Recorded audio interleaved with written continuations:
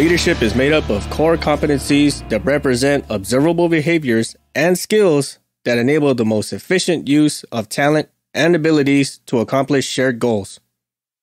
However, common competencies are a non common virtue. This is I are Leader.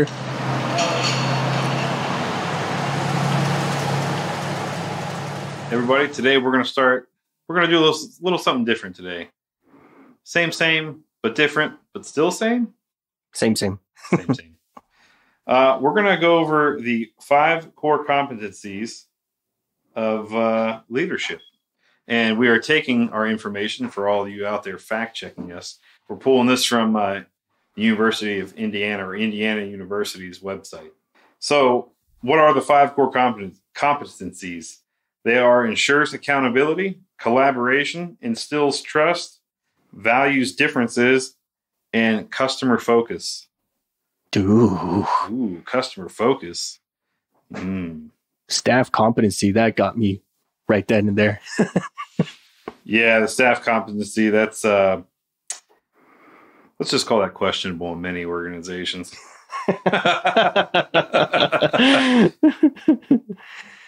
oh man. Uh j- just right off the bat, man, like I can tell like um there's a lot of people who need to read this shit and even if they did read it, they probably think like, "Oh, I'm an expert. I already know what the hell they're doing. I can write this book 20 times over and I just I can't begin to tell you just how much you how much you think you're a superstar. You're really not. yeah, yeah, and all those who are saying that they know are the ones who need to read this the most. I mean, I mean, because I can admit, like, we're, we're we're pretty influential, but even we need to learn some stuff. There's things that we need to tighten up on. There's things we need to kind of polish up, and there's stuff we just flat out don't know. We can admit that, but there are those, and I'm sure we've all have witnessed this. They just feel like they're God's gift to basically everything. yeah, there's no wrong that they can do. They are the best, or so they think. Yeah. And uh, I'll tell you one thing that they have is that self confidence. They uh, they don't doubt themselves any way, shape, or form, which can be a good attribute to some extent, but ultimately it'll be their own downfall.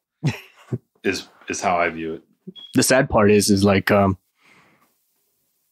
you kind of want them to fail those that are like that but when they do they tend to take people with them Well, you're exactly right. That's the first thing that popped in my head. Like, ha, they're going down, and you're like, wait a minute, wait a minute, I'm on the same platform they're dragging down too. Stop, right get off me, quit grabbing my pant leg. right You know what I mean? Uh, uh, because they're, it's all me, me, me. When times are good, when times are bad, it's we, we.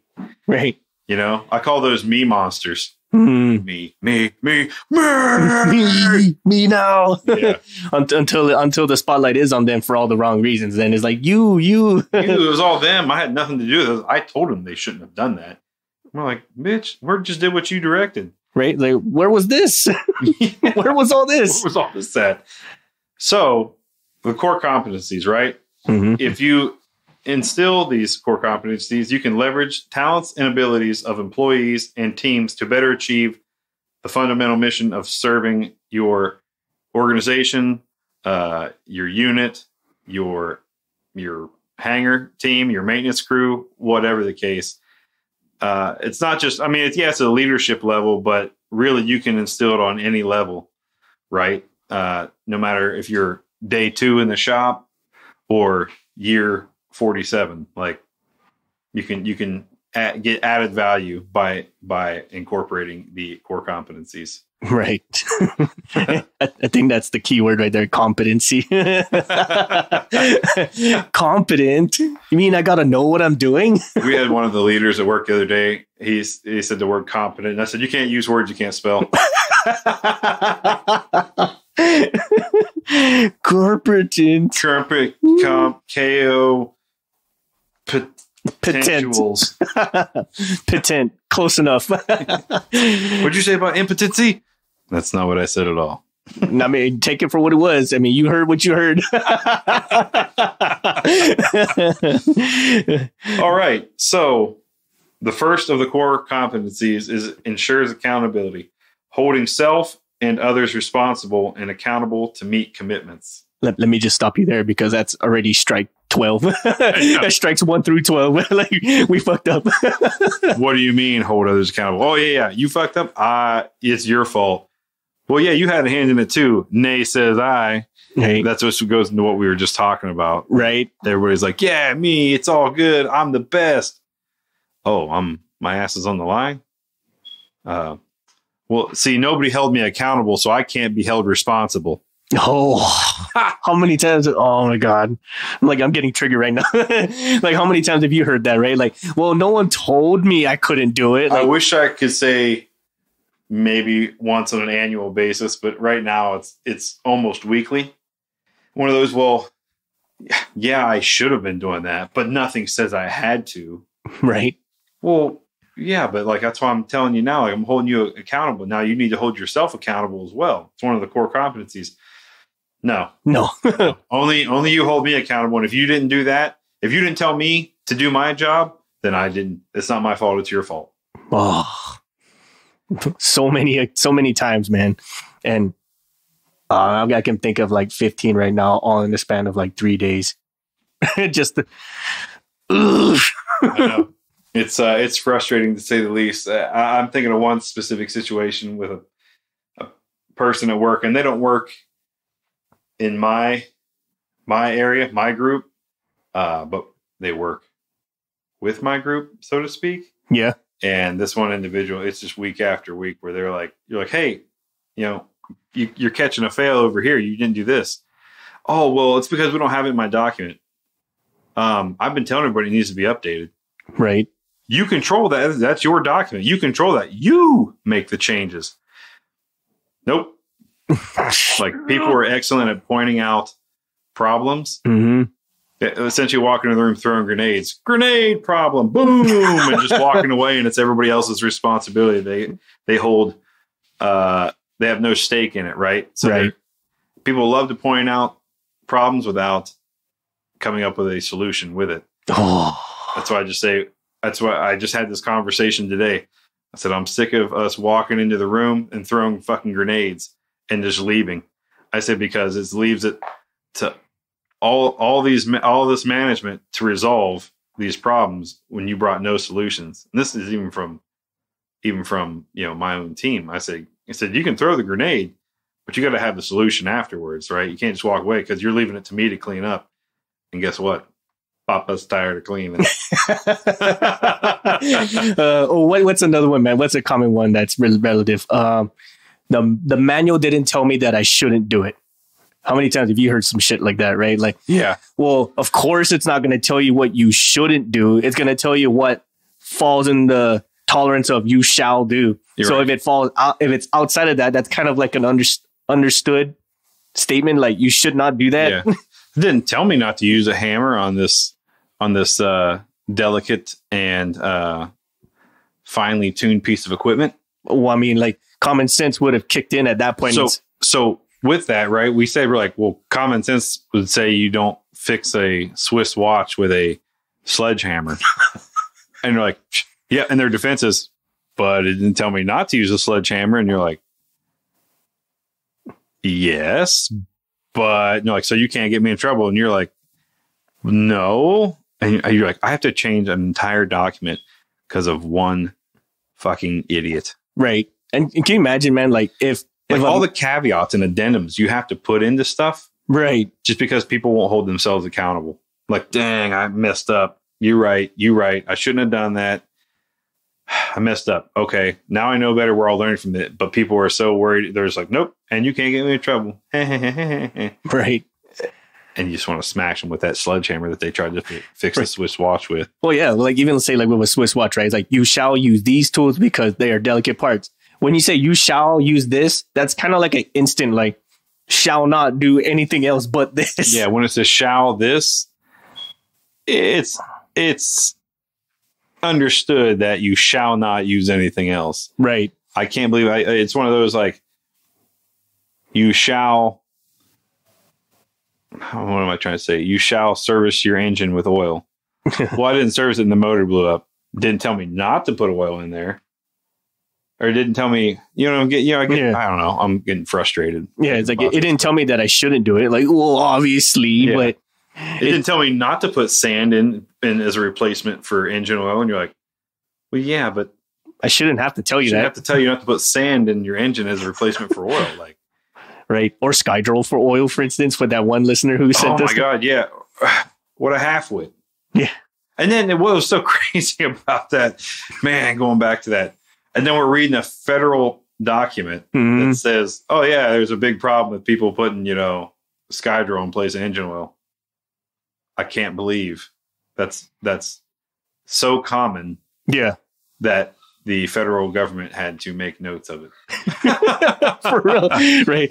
So, how would you show uh, being accountable, right? Uh, first of all, uh, as we kind of said, we'll, we'll kind of like summarize it down. A, you follow through on your commitments and make sure others do the same.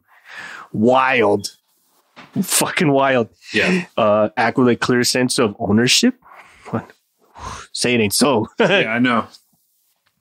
Or take personal responsibility for your decisions, actions, and failures. That's one thing I can't stand. Somebody says, I'm taking lead on this, and then they make a call and it blows up. And they're like, nope. And then they just wipe their hands like, hold, hold on, man. Uh, You were given the opportunity to run the show, hmm and the call you made blew up. You got to learn from that and move on. You can't just wipe your hands up and be like, oh, it's not.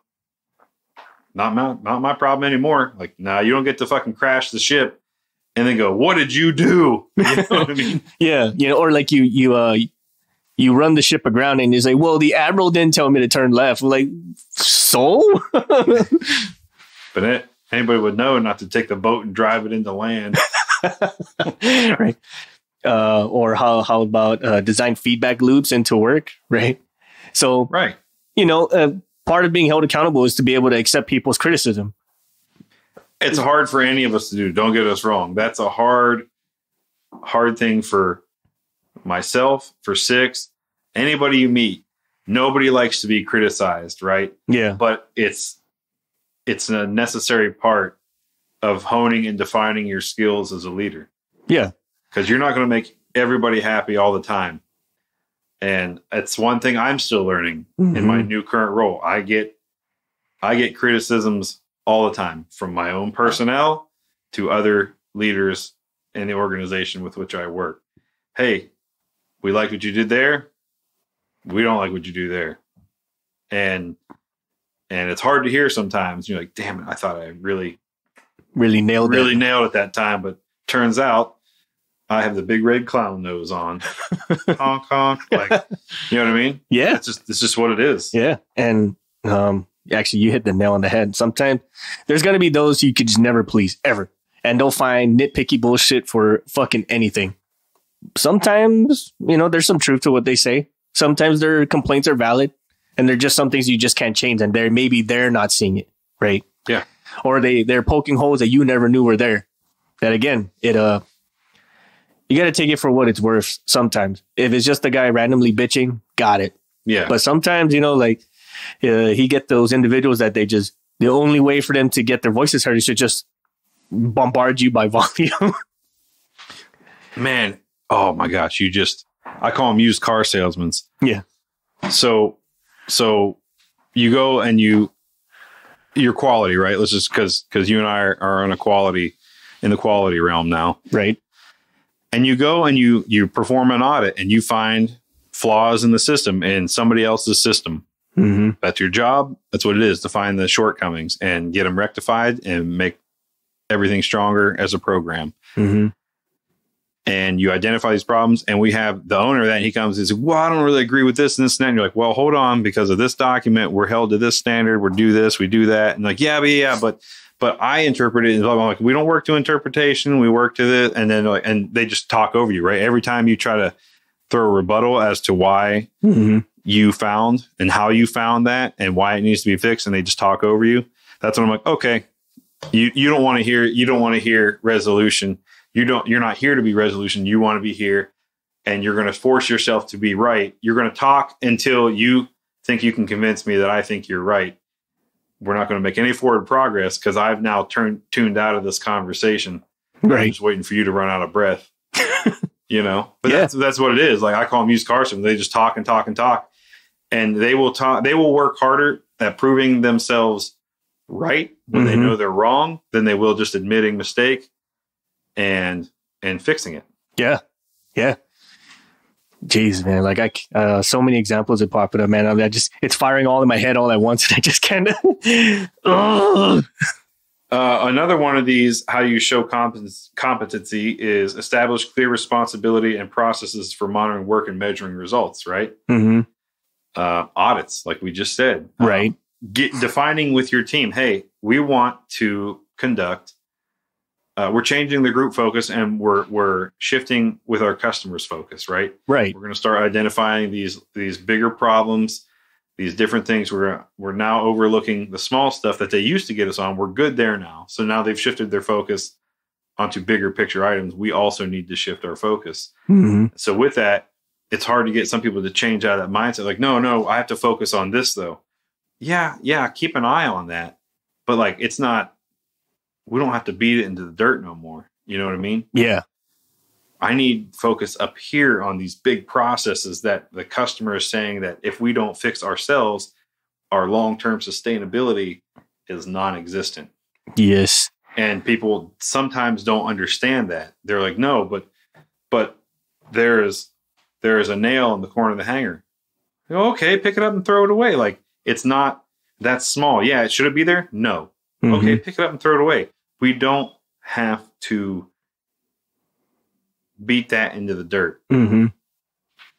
You know what I'm saying? Yeah. Stuff like that. So so what you have to do as a lead is you have to sit down with your team and say, I want you to look at this. I want you to direct that. I want you to run this to ground. I want you and then and then report to me your findings and then I will research and we as a group, your peers will all review each other's work Mhm. say, hey, I don't like how you put that there. You should change it in this metric so it reflects this better, Mhm. right? And, highlights this aspect and make sure we're communicating to that group that it affects, right? We can't Mhm. just hold it all to our chest. We got to get it out there so everybody's aware and can start making the changes. Mhm. That's the kind of stuff we have to do because oftentimes, uh, I know you've experienced with your military background and with your civilian side, Mhm. is that uh, changing hearts and minds is probably the hardest thing to do in culture, right? Oh yeah. And people aren't going to take it upon themselves to to initiate change. They're going to sit back and do what they know because Yep. it's comfortable. hmm Change is difficult, and so as the leader, you have to instill that change, Mhm. um, and it's not easy. Not always easy. Some, yeah, some some folks take to it really well, Yeah. but others fight fight tooth and nail like just every day Yep. every day you're like why why today like i'm working on this and now my day is gone sideways because you're still stuck in second gear and the rest of us are in fourth already hmm you know what i mean Yeah, clearly. Uh, this reminds me of uh, this one story. It was a professor with a jar, and he go and he he starts uh he fills it with like big rocks first, mm-hmm. and he goes, "Is the is the jar full?" And was like, "Yes, absolutely." Then he gets like some golf balls, puts more, and he fits the golf balls into the jar with the rocks in it. Is the jar full now? And he was like, "Yes, it is." And he gets like sand. He's able to pour the sand into the jar all the way. And he goes, "Well, is the jar full now?" And he, and they all say, "Well, shit, I guess so." and then he gets two beers and he pours it into the jar, and then they fill up all the way. Like, "So is the jar full now?" yeah And they go, oh, fuck, I guess so. What more can you put in there? And he goes like, the sand, is, the rocks are like the big important things that you have to do these. They're always gonna fit. And all the others, uh, the smaller you go, the more nitpicky, kind of okay, kind of necessary, not really necessary shit. And he goes like, if you try to fill the jar with the sand first, you will have no room for the for the rocks and for all the important shit. So I think that going back to what you were saying, like if we're trying to nitpick the sand, we're never going to have time or room for the rocks. the rocks but everybody else is focusing on the rocks yeah. yeah that's a that's a great analogy Yeah. I, I can't That's a remember. great analogy. Yeah, I, I need to take the big items, these these massive items that if we don't get addressed are really are really going to hurt us. hmm We need to take care of these. Yeah, but look at this pile of sand here. Yeah, we'll we'll get to it though. Like it's not Yeah, it's bad, but it's not terrible, right? It's, It's, bad, not. but it's not going to cripple us. yeah, it's know? what, what is it? It's not critical. There it is. Yeah, it's not not critical. like, well, but when are we going to get to it? When are we going to get to? it? That's what they say. When are we going to get to these things? When you get the rock rocks sorted out. Yeah. And you get the rocks sorted out, and then when you get the and once the rocks are sorted, then you get the golf balls sorted. hmm And then once you get the golf balls sorted, okay, you're taking care of the sand. You know, it's it's it's but people will struggle. They it's like they have blinders on them like a horse and they only see hmm what's in front of them. They can't see big picture item. Right. And it's it's hard to get people to see a big picture item, especially when they I don't know if they don't have a stake in the game or they it doesn't directly affect them, right? Right. So so money drives everything. hmm And unfortunately, right? And you say, well, how is QA tied with money? In the civilian world, it kind of is. It's not. It's not like the military. hmm It- in the civilian world, it kind of is. It's written in with contracts. It's this and that. And what I try to tell people, I said, yeah, we're QA, and our job is to find find problems and resolve them. But if we go and keep failing and failing and writing these up these thousands of minuscule things that just keep dropping our numbers down, right? hmm and so people go wow at the at the your top level in the company go wow this program's dicked up. Yeah. and then they start reading through and they're like well why wasn't that just taken care of? Why was that why was this made such a big deal? Why was this made such a big deal? Then you're flooding them with instead of getting them to help you with the big picture items as rocks hmm you're getting them to focus on sand and they start going i think we've got a problem with that leadership in that that group and then you get removed and they bring in somebody else who they think will do the job hmm better. Yeah. and that's what i'm trying to tell you like well we shouldn't be this way. I'm like well whether you think we are we aren't we are. Hmm we are. And so if we have enough negative marks guess what? They're not going to fix the negative marks. I mean they will to a degree but they're really going to fix the person creating the person throwing the right Yeah. they'll they'll address they'll address some of the grenades but how do you get the grenades to stop being issues you get rid of the person that's throwing them yeah. if we're the ones throwing the grenade in the room they're going to go well to stop that barrage and not you know onslaught we're going to uh let's take out the guy throwing it Yeah. That does that logical. Anyone can admit that's logical. Uh, that kind of uh, carries over into uh, one of the other core competencies, and that's collaboration. You know, like building partnerships and working collaboratively with others to meet shared objectives. see and that's that it's exactly it it does go into the next one what we were just talking about yeah we have to work together as a Mhm. whole unit for the program we're all under this program we all want to succeed we all want money we all want to get continued funding so we keep getting paid Mm-hmm. Mm-hmm. we got to work with the other groups we can't just beat them into the dirt all the time Yeah. i mean we, we both know we could write a thousand fails Mm-hmm. a day but what does that really do in the end Yeah. we're no further ahead. We're we're way further behind, right? Yeah. And like, well, then if there's a thousand issues, then that means we're really messed up as a program. Hey, we're we're an active working hangar. There's going to be issues. Mm-hmm. It can't be perfect. Yeah. it's not going to be perfect. You can't run ops and be perfect. It's just it's not going to happen. It's just not going to happen. Yeah. Yeah. so you have to pick and choose the hill upon which you want to die on. Mm-hmm. But unfortunately, you get individuals out there who want to die at every ant hill or molehill they come across. They don't want to, hey, I'm taking Everest on and I'm going to die on that hill because that's a massive problem and we need to fix that. No, no, no. I'm gonna I'm gonna die on that ant mound that's at the playground at the park. Like, this is where I choose to this is where I choose to make my stand. Right. You know what I mean? Yeah. Um, so when we speak collab uh, with collaboration, right, we're talking about working with others across organizations. Okay, keyword organizations. Sometimes other departments that are like right next to you to achieve a shared objective. Right. Uh, for instance, we want a flight to get off on time. We want this part to be installed on time. We want this product to be made and delivered on time. Whatever. Right. We all have we all play a part in the whole scheme of things, which is to a sell a part or make a plane fly um, partner with others to get the job done. We kind of already said that. And then credit others for their contribution and accomplishment. I think that's like one of the biggest fails in many a leadership role is like you don't give the credit where it's due. You kind of just absorb it. Like, Yep. And I and that's one of the things I'm slowly learning in, in this new role that I'm in, right? mm-hmm. Is uh and my boss is is is is he'll bring it up to me, right? He's trying to instill some some good stuff in him. So I'm trying to take and learn from from him as well. Mm-hmm. Um, you know, he's like, Hey, you know, we keep pointing out flaws, but are we are we identifying where they where they're doing good? And you'll get some people that say, Oh, they never do good. Well, then we're never doing if they never if they're never doing good, then we're never doing good as our job. Yeah. You know what I mean? Mm-hmm. I mean, mission, you know, quality, we're we're we're our our goal is to find the flaws in the system, Mhm. but eventually, right, if we're doing our job and we're also teaching and working together, collaborating with Mex Techs, whoever's out there, Mm-hmm. uh, eventually we should be minimizing problems. We should be creating, we should become more of a teammate than we are a police officer. Right. But people always have that negative stigma to us because they, because of people like we're talking about, where they go out there and like, oh God, and it, it, it'll get to the point, and I've tried to explain this to the crew.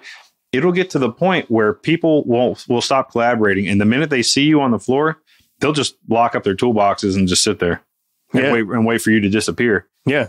and they're going to go and they're going to go well eventually they're going to have to go back to work so i'll just sit there till they open the toolboxes it's not going to happen because somebody's going to go inside to their manager Mm-hmm. and say hey we can't get no work done because so and so's out there like breathing down our necks and uh, we're all afraid to do something because we're afraid they're going to nitpick the hell out of us and fail us for every little thing we do and guess who gets that call i get the call hey what are your people doing you're fucking up out there why we can't get no work done because the way you guys are, and then, then they're going to start questioning the way I'm running things. Mm-hmm.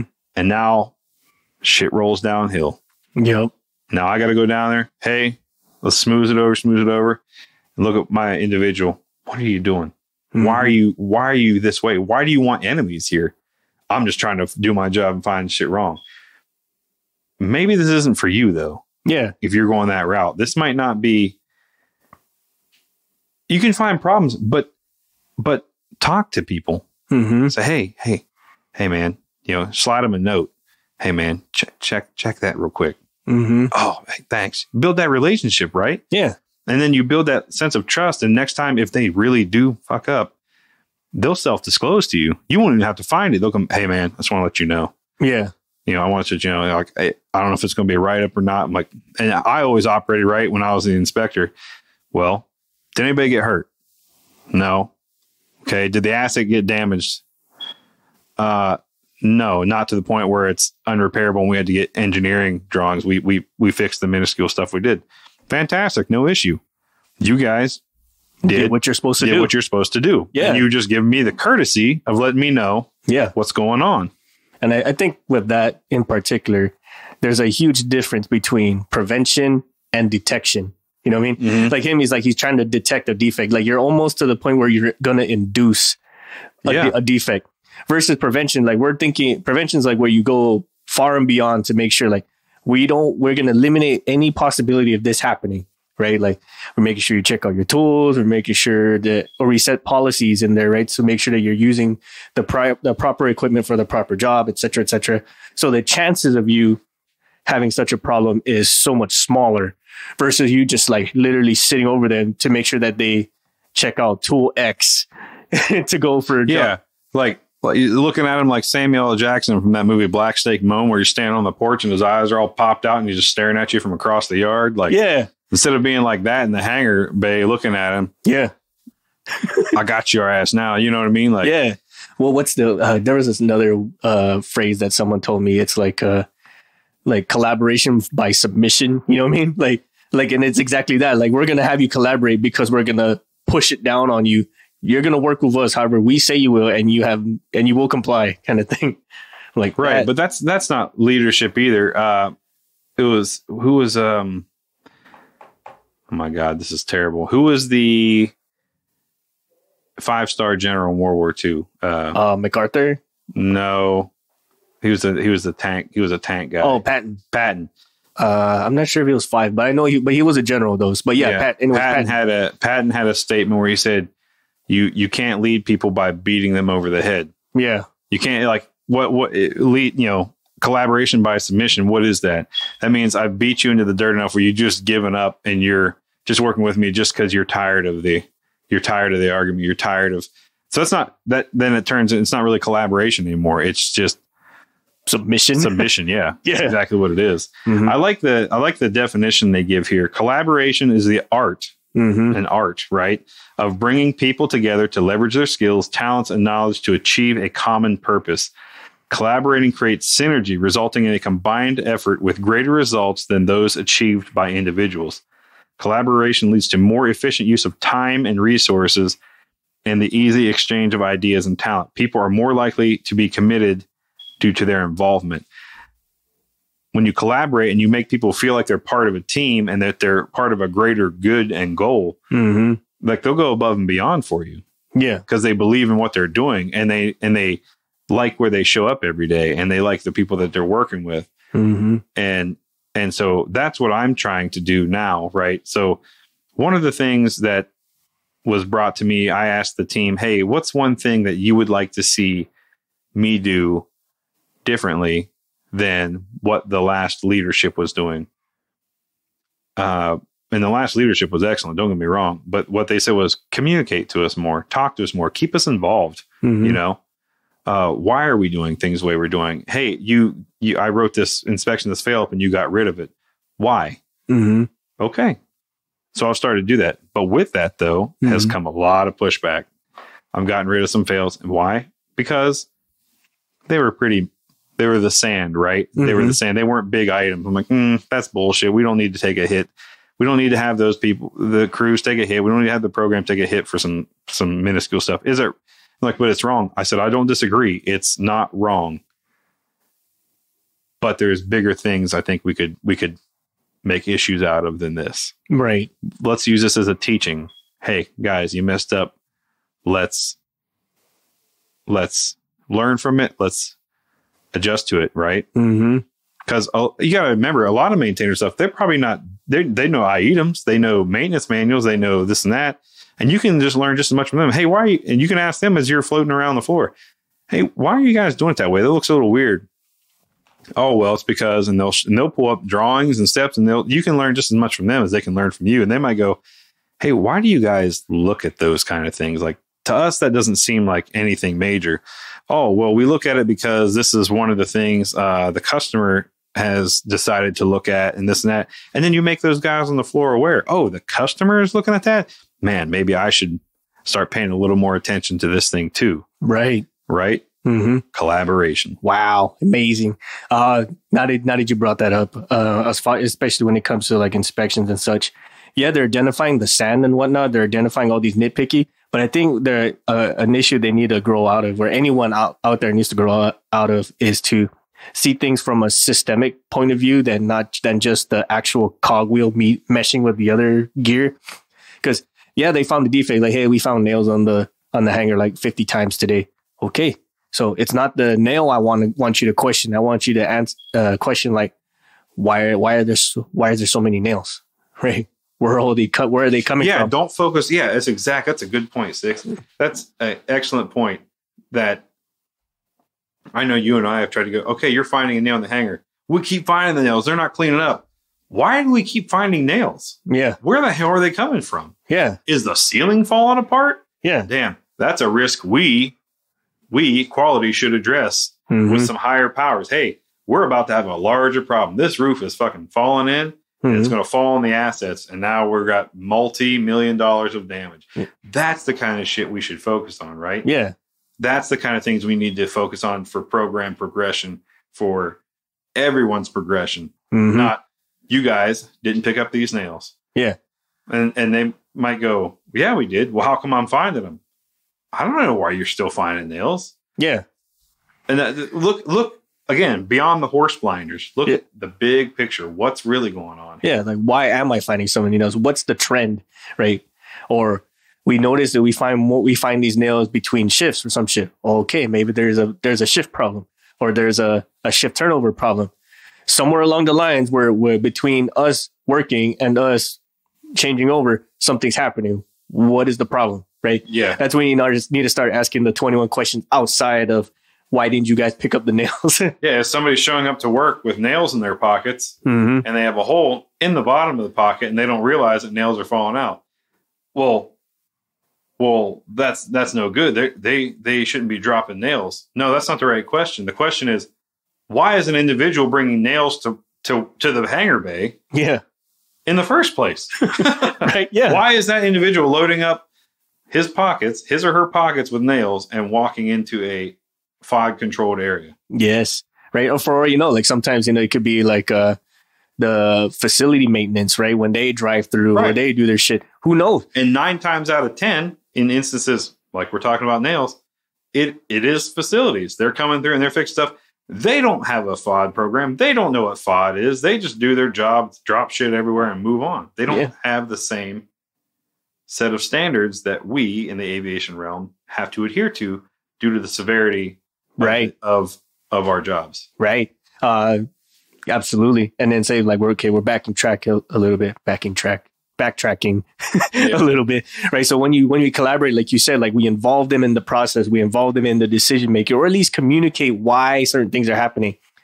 When those things happen and you involve them or at least give them a little bit to know what the thought process is or the process chain is, that moves into instilling trust Yes. right? Uh, gaining confidence and trust of others through honesty, integrity, authenticity. Authenticity, that's a big one. Yes. So we, I trust you enough to understand why we do the things we do. Whether you accept it or not is one thing, but at least I'm telling you why it's happening. I'm not just leaving you in the dark and just expect you to know what the fuck is going on. Right. Or the trust is there, right? Because we've had such a good collaboration effort, mm-hmm. we've built the the sense of trust. And so now they're coming and like I said, self-identifying or saying, Hey, hey, hey, we're noticing this too, right? They don't have to they're making our jobs easier. Mm-hmm. Hey, uh, we just want to know. We don't we don't know if you guys are aware of this or not, but we've noticed uh, this other group who's been working in our right might have a group of engineers who are in there. Hey, we've noticed the uh, the engineering team coming out here and carrying uh, open liquid containers and bringing um, uh, has has waste items and not disposing properly. Oh, awesome! Thanks. Let me go rectify that. Hey, engineering team, not sure if you guys are aware, we do have a set of rules and policies here that we have to adhere to, and you guys are not doing this. I'm sure you're not aware. That's why this is happening. So let me make you aware Yeah. okay, now I've got you all on the same page and we're all squared away. If I find this again, it's your ass. Yeah. You know what I mean? Yeah. But that's but that's how it should be initially. We should we should be communicating uh that kind of stuff.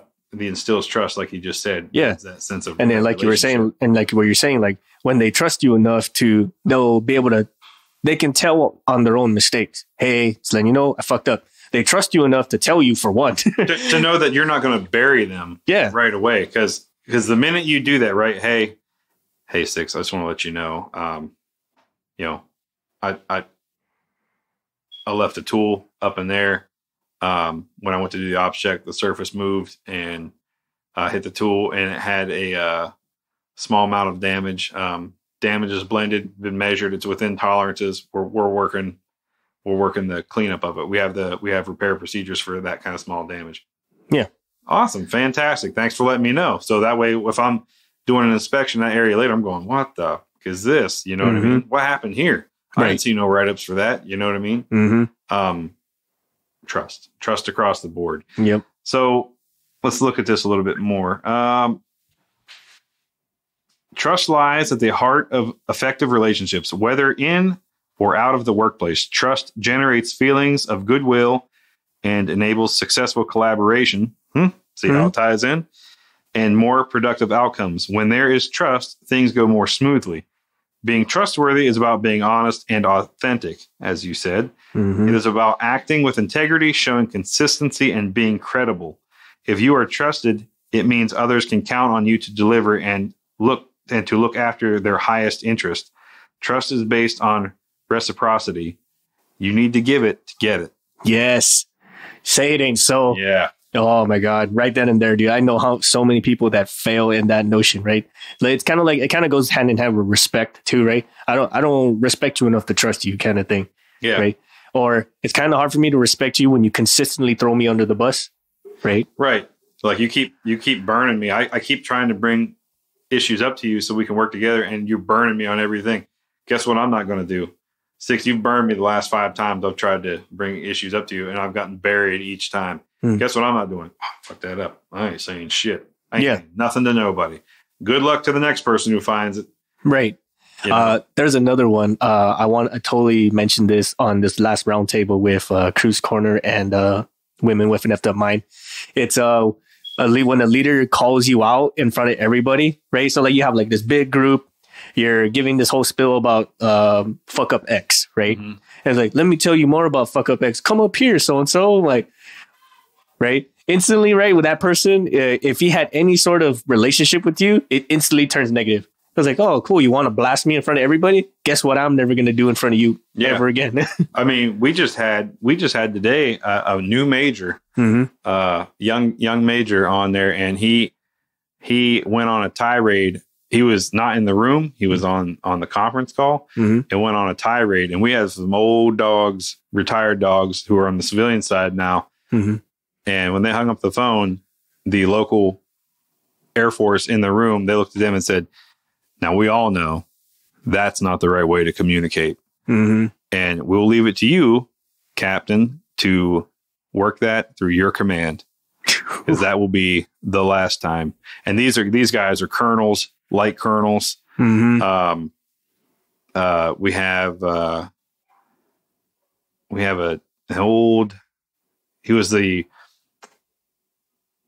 like Europe Europe uh, like second in, in command for the like uh like an Africom or Euro, European. Yeah, he was high in the chain, Ooh. and the way he talks, he commands the room. He knows, right? He's had that experience. Yep. But when that conversation was over, he takes his glasses off slowly, looks at the captain. And that captain, even though this man's now a civilian and this guy's still uniformed, he knows who he was hmm and who he is. And so there's still that trust and respect there. Right.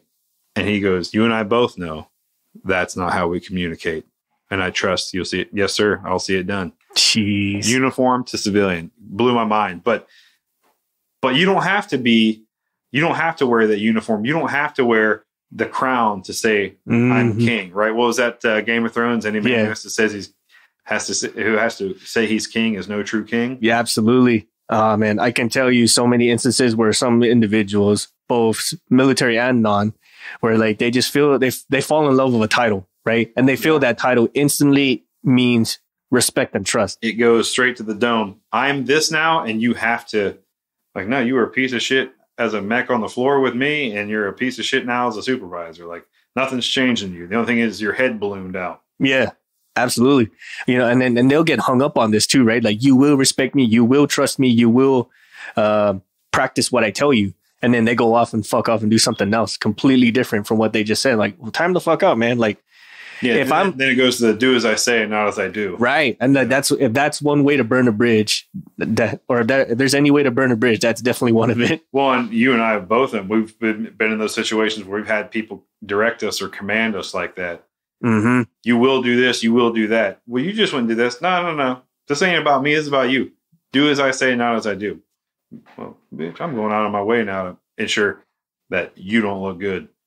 right. You know what I mean? right? It's like I, I'm going to make it that much less of a concern of mine to make this happen now. Yeah, Now I'm I'm going to do enough. So because it's not me who has to go sit in front of the the, the commander. yep, It's not me who has to go sit and sit in front of uh, the review board. And this and Yes. that. You got more to lose in this this dog fight than I do. right, So good luck. right. Uh, I'm, I'm going to do whatever it takes me to keep myself and my team out of trouble, and I'm going to let you take all the heat because that's what you want. Right.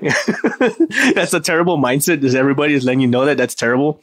But some individuals need that hard reset. Like you're only here because a someone put you here, or and b like we uh, took it with a grain with a grain of faith that you would do do better, and you didn't. So Some people got to be hemmed up, man. yeah, Some people got to be hemmed up. That's just how it's like getting this. Uh, I've said it a hundred times, I think, on this podcast, but I'll say again: it's getting a stop sign in an intersection.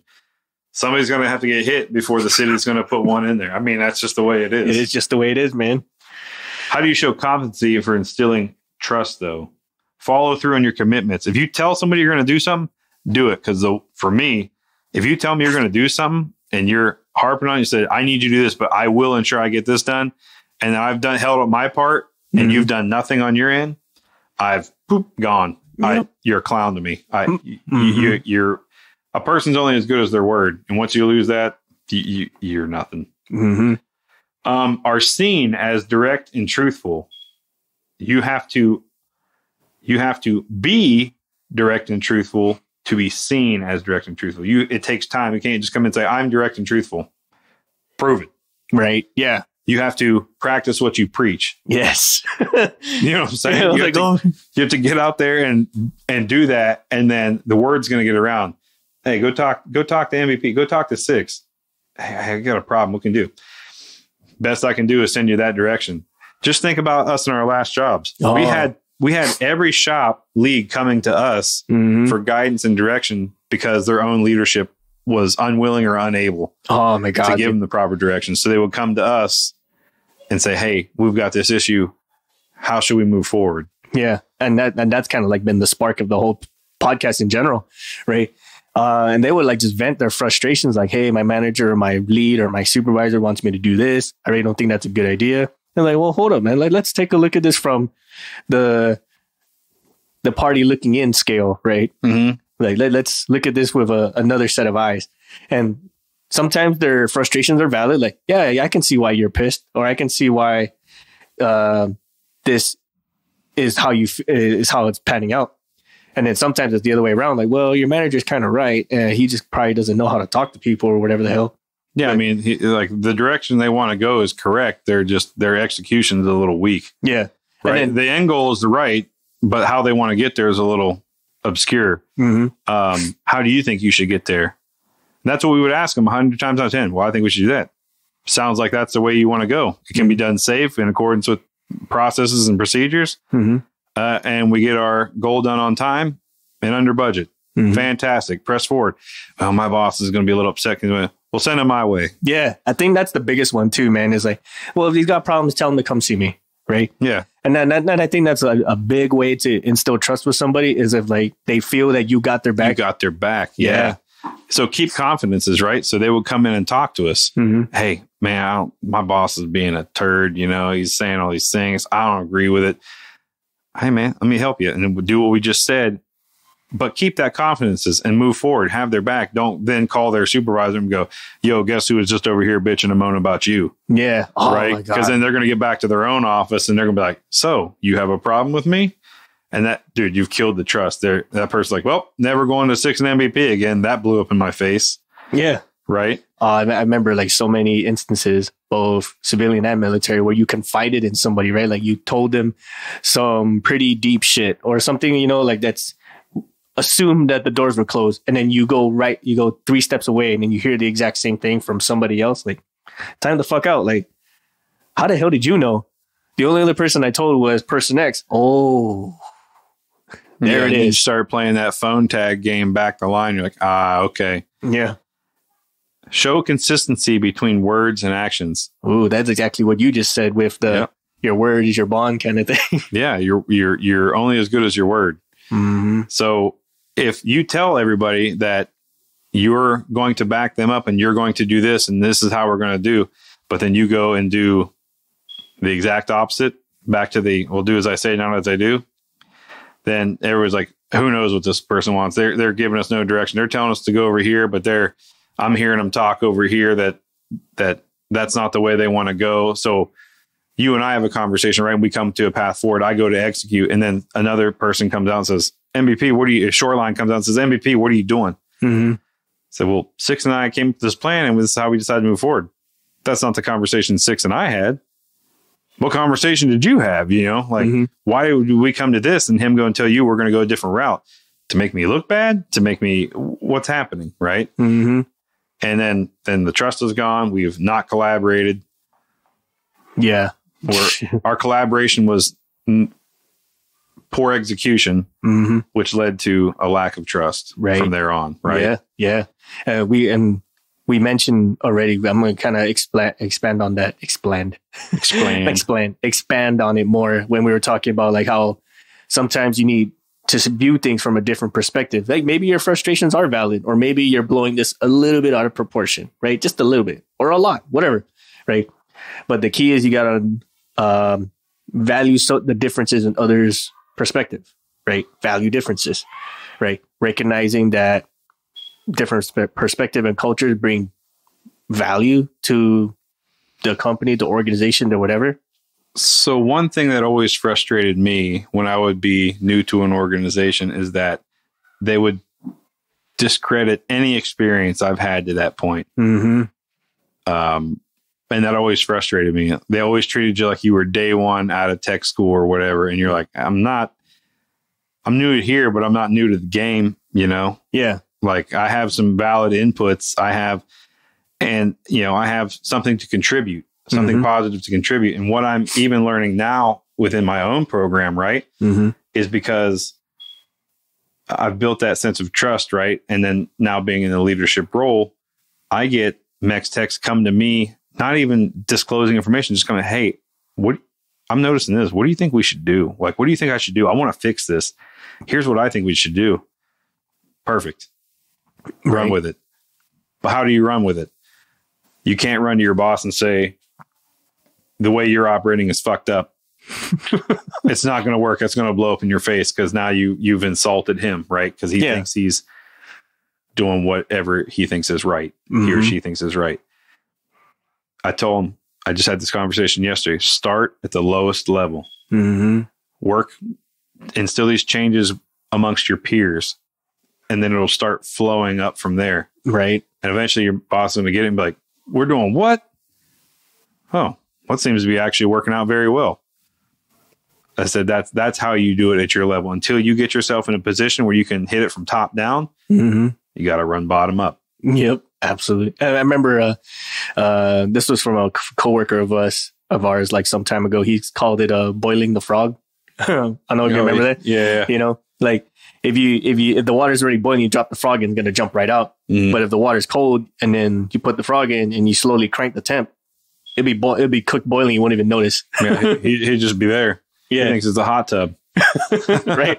Before you know it, he's soup. Yeah. Um, yeah. Um, and so then- so one of the things right to to kind of incorporate in this with just what I was talking about having people come up and say hey I want to make these changes and think it's the way to go do you think this is the way to go Mhm. yes I do now some of these individuals who are coming to me I've never worked with in my life prior to here Mhm. some of these individuals I've worked with for over a decade Mhm. But they're new to the program I've been here before them Mhm. but they're coming to me because they know how I am and how I operate we have that history we have that sense of trust we've collaborated in the past Mhm. of a similar mindset. So, hey, this is a this is a little different operations here. I'm kind of struggling. Can you explain to me this? I think we should operate this way. I 100% agree with you, man. Um, I'm trying to push it from my end. It's going to be a lot faster for you to hit it at your end. You start at the bottom. I'll start at the top. We'll meet in the middle before you know it. hmm hmm I've also seen the opposite of this, where someone comes in from a different cultural mindset, and instead of trying to adapt their experiences to the current task at hand, they try to mold the task to what they used to know. Right? It sounds like California is moving to literally any other state. Mhm. we're leaving California because we hate po- the, their politics and this and that, only to go to wherever they move to and try to do the same thing. Well, that's how we did it over there, so we should do it here. Homie, that's what you just left. Like, why are you? what are you doing Yeah. now? Now, I agree with you. There is because it's all they know, Mhm. and they don't want to adapt to the new. Oh shoot, there's something going on here that I don't know.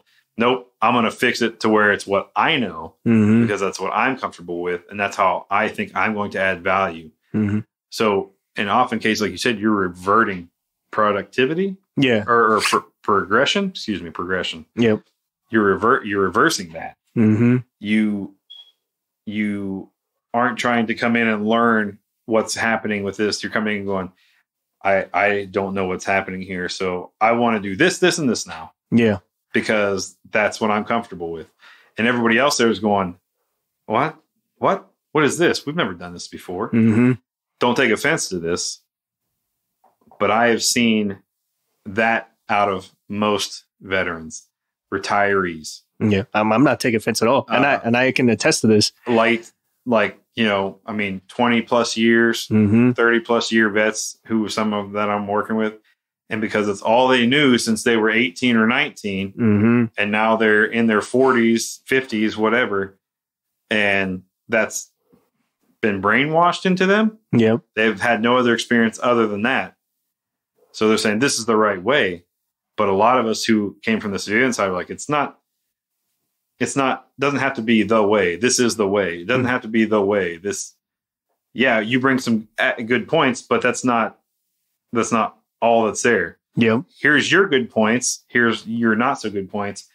Here's some points where I think from my other experiences, let's collaborate and put those Mhm. together, and make the big thing. But oftentimes they're so just, uh, I this is um, this is me and me alone, and when I change this, it's going to be on me. When the success happens, it's on me. Mm-hmm. So that that kind of remind that kind of reminds me of like uh like say transfer students, right? They always they always have that back in my old school story, you know. yeah, Back in my old school, we used to do X. Back in my old school, like, well, homie, deal. I don't know what to tell you. You're not there no more. right. And that and I see that with you know new mechs and techs coming in. Oh, with my last job, well, this isn't this ain't your last job. Yeah. Well, my last job we did this. My last job we were allowed to walk over tow bars when they were connected to the tug and the aircraft. Fant- Oh, oh, fantastic. fantastic, but we're not allowed that here. Yeah. So, well, that's stupid. I don't disagree. Uh, I feel like I can step over a tow bar with ease without damaging myself or any asset. Mhm. But it is what it is. Yeah. I didn't write it. It's it's a Air Force mandated requirement Mhm. that we not step over those tow bars. Now, if you can objectively show me after some time, right? Like after some observations of yours, right? Like, well, I prove in time for like the past X amount of weeks, months, whatever, that stepping over tow bar is not dangerous. Here's my reasons why. And I feel we should probably look into this. If you approach it like that, okay, uh, we- there's some validity to it. But if you just flat out said, this is fucking dumb. Yeah, but also I also kind of view those as the sand Mhm. problems, right? Yeah. You're really gonna bitch and moan and fight and die on that ant hill, on that little pile of sand over stepping over a tow bar, Yeah. dude. Just, just Stockholm syndrome that one and walk around. You know what I mean? Yeah. Find a more important problem to, Yeah. to, to to rectify. Yeah, like instead of like, uh, why why can't we cross the tow bar and worry more about how you guys just roll the plane into the freaking dirt because you forgot to put or you forgot to take out the locking pin or some shit. Right? Yeah. Let's talk about that one. you didn't check your you didn't check your tow bar shear pin. So when you went to move and you turn the tug, you turn the tug ninety to the one, to one side, and the plane still moves forward because the shear pin's gone. right. Like, or or what was another one like uh they forgot to turn the aircraft off before they or they forgot to make sure the aircraft had no power before they plugged in and then they the landing gear started to retract and then it almost went belly down on the oh god! oh my god oh, i don't know what happened I i, do my safer maintenance, my pre power on checks. Or weird weird weird uh let's see here. What else do we have under values differences? All right, valuing differences creates a work environment where people can and want to do their best. Oh, Weird. weird Working effectively in this diverse world starts with self awareness, considering how you handle bias, poor treatment, and conflict, and demonstrating that you value others. Mhm. To be effective, you will not ignore differences. You will understand, embrace, accommodate, and encourage them. Valuing differences will help you learn and benefit from the wealth of knowledge and experience that diversity brings. It opens doors to new ways of thinking and new opportunities for building the success of the organization. Again, if I have a team, Mhm. right? So let's just say for for inspectors, I have a, I have a team of inspectors, and this person's a structures person, this person's engines, this person's AVI. Mhm. Well, okay, here's what I want you to do. Uh, I want you to be involved when there's anything going on with one of those systems. Mhm. I also want you reviewing maintenance manuals and figuring out where there are shortcomings at and submitting change requests to the Mhm. manuals. I want you working hand in hand with those specific shops and figuring out what they think are shortcomings and where they need help fixing the problems because they might be running into roadblocks via their own management. You can help push past that. hmm hmm I also see this uh the value differences like say I, I feel like this is nitpicking or picking on the new guy, right? Like, well, we got all the experience. This guy has nothing. So we're kind of just treat you like shit. Like, well, maybe he's new to the game or maybe he's new to the line of work, but he's smarter and knows their shit. Right? Yeah. It's very rare you find an individual who's brand new and knows fucking nothing. Like Yeah. literally nothing. Right. So they might not be too savvy with with maintenance on the aircraft itself or with understanding each system's operation or with with how you are documenting your maintenance and this and that. But they might be computer savvy. Mm-hmm. They might go in there and say, "Oh man, I put it I put this input into the forms and something messed up." Oh, hold on, let me see that. Right. Ah, there we go. It was just a broken formula. I fixed it for you. Oh shit, where'd you learn that? Oh, my last gig. You know what I mean? Yeah. It's like, oh, I learned this back in high school. Like, fuck, man, what kind of high school did you go to? Yeah, was that a STEM school? Like, Yeah. I went to some Bojangle school, like you know, podunks, you know, like. But anyways, uh, um, everybody brings value somewhere, right? Yeah. They, if they have a willingness to learn, That's it. that's it, man. That's it. Uh, and bringing all this down, right? Because you can have all this, all this correct or semi correct, but if your ultimate goal is not focused to what the customer wants, you might as well just be a fucking like a shit show, you know? right? What's a business without a customer? Yeah, or what, what, where, what good's a race if there's no finish line? You know. Right? Yeah, that's exactly it. So like we're, we're talking about customer focus, you know, we're talking like building strong internal, external customer relations and delivering what the customer expects for a solution, right?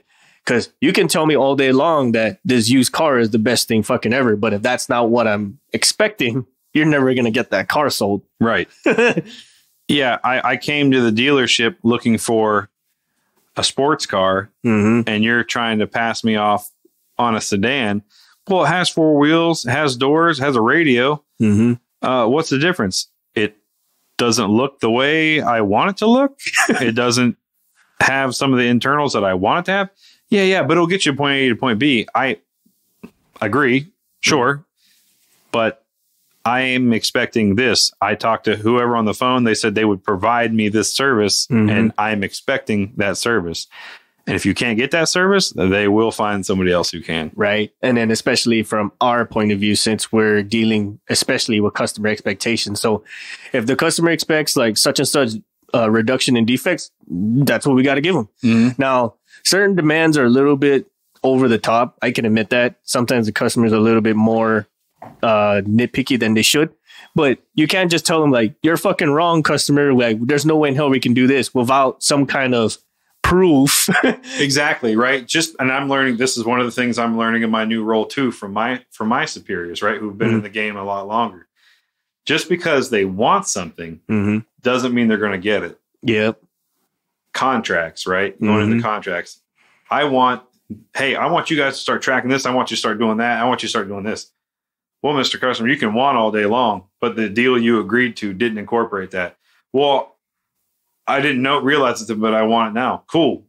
Add that in at the next contract cycle. Like Yeah. for now, you can hmm. eat it. Yeah. You know, Yeah. track it yourself. And it's true. And Now, most times, right, we'll be accommodating depending on the request. yeah. Depending on the request, hey, you guys mind looking at this for us or checking on this? Yeah, it's not part of our statement of work. We'll help you out, right? Building building trust and collaborating Mm-hmm. and all those and and all those other things. Uh, the customer goes, "Hey, yeah, we've asked for," and then when it comes for contracts, I go, "Hey, uh, we asked for some stuff out of pocket, Mm-hmm. uh, not really contractually based. They did provide it for us. mm-hmm. Um, I think now we throw X amount of dollars more at them yeah. For that effort this next time around. We need Yeah. to make sure we get them additional funding to continue that for us. Otherwise, Yeah. We're kind of SOL. we're kind of SOL. Yeah. Yeah. And that kind of goes into like predicting what the customer may want, right? This kind of goes into marketing for most of you, but if you can predict what the customer may want, you can almost anticipate what he would expect, right? Mhm. So like, well, the cus- well, the customer knows that they want, um, like better convenience or, uh, little less noise or whatever the fuck it is, right? So you can kind of gear that in that direction. Not saying completely revamp everything, but you can kind of sort of like guess what they want. And then when they, when they finally voice it out. Like, oh, okay, cool. We already got something in the works already. Oh, fuck. You know, Yeah. it's kind of it's kind of like ones where like uh, you go in for a service and then they they already can they can really accommodate without you asking. Like, oh fuck. Well, Yeah. Like you might have taken your car to the dealership to get the oil change that morning. I think when I'm done with the oil change, I'm going to take it and get it washed. And then when you go to pick it up after the oil change, you figured out that they had it washed for you. Like, oh, shit. Cool. yeah. That just saves me saves me an extra step that I had to do today. Mm-hmm, mm-hmm. You know, they took it upon themselves for me, just like you said. And it's hard to anticipate, but if you have that little bit open line of communication with them, you'll you'll um you'll you'll you'll hook it up. They'll come and say, "Hey, um, you know, we've started uh, you know amongst ourselves questioning this, questioning that, and we would like to start tracking these metrics. Stand by. Oh my God, you guys have already been tracking it for the last six months. You already have a database built. Yeah, it's you know we just thought it was probably some good information to have, so we were tracking on our own. But if you guys can use it, fantastic. Yeah. You know, Absolutely. Um, there was a, there's another one I wanted to bring up that tied in directly with that, and um, for the life life of me, it's kind of eluding me. Uh, it kind of goes into like um, uh, how do you say, not hooking the customer up, but like uh, communicating with them to the point where like whenever they act, whenever you say something, you're going to deliver it, right? yeah, like, hey, no, don't you worry about it. We got this. We're going to make this happen. And that, that builds trust uh, with the customer and retains the customer. That's a big one, right? It's no point in, in selling something where you know he's never coming back, right? Yep. Uh, that goes into the used car salesman thing what you were talking about. Like, well, you bought the car, fuck him. yeah, and that's exactly that's exactly how I kind of view it. Like when I keep getting steamrolled in a conversation, I'm like, oh, you don't want to have a conversation. mm-hmm. You just want me to accept what you think. Mhm. Nah, that's the way it is. Sucks to suck. Mm-hmm.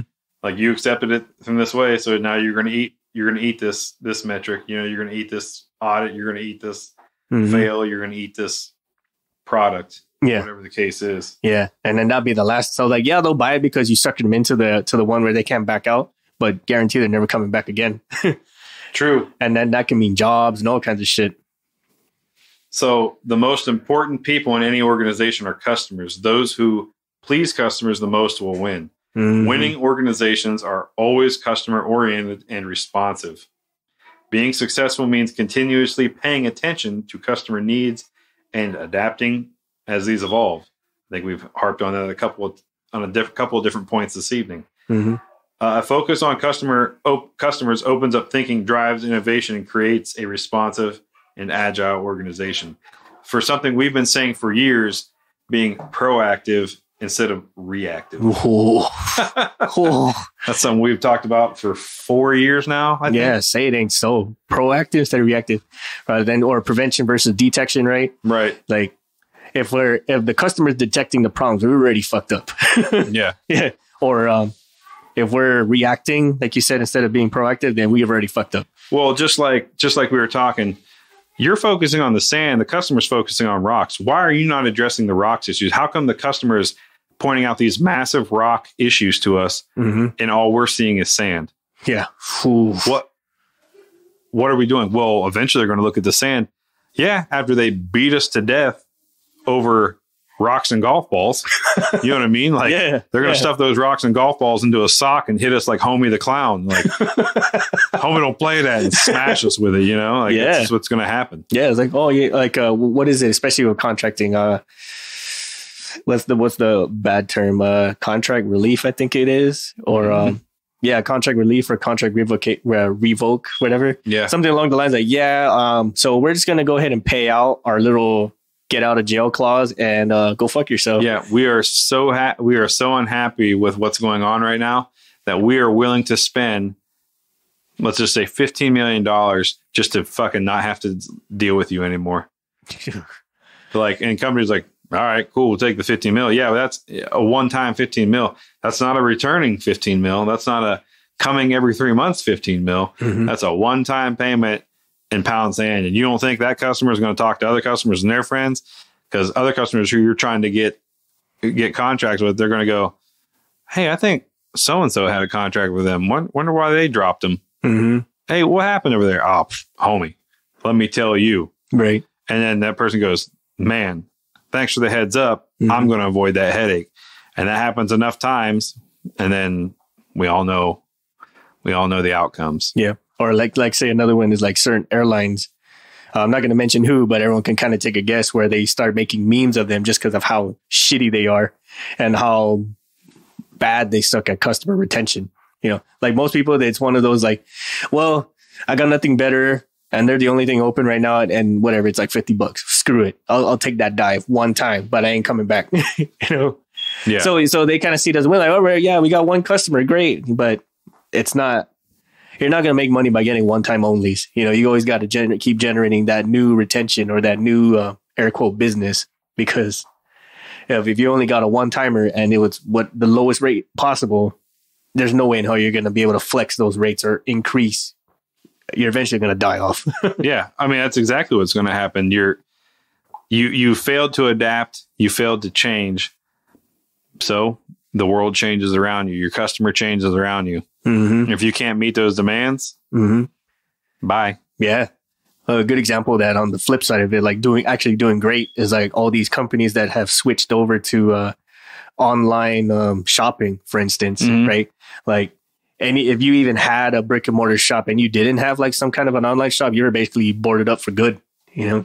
Yeah. I mean, everything's online now. Yeah. everything. Um, like you said, those mom and pops that couldn't adapt with the times and didn't. No, no, no, that's just a fad. It'll it'll pass. Mm-hmm. No, what passes? Your your brick and mortar. Mm-hmm. It's now a blown out, empty shell of what it once was. You know. Yeah. and then that's kind of the same with the aviation realm too. Where like uh, customers nowadays, they want in, in onboard Wi-Fi, they want onboard lighting, they want onboard like amenities. And if you can't provide that, or if it's not reliable enough, chances are you're never going to get them again. Well, hell, even from the maintenance aspect, some of these new jets, at least in the corporate realm, they're coming and they're telling you what their tire pressure is yeah. in the cockpit. They they want they want the ability to plug a computer in or not and just run a diagnostics and it'll tell you everything that's wrong with it on the jet. Yeah.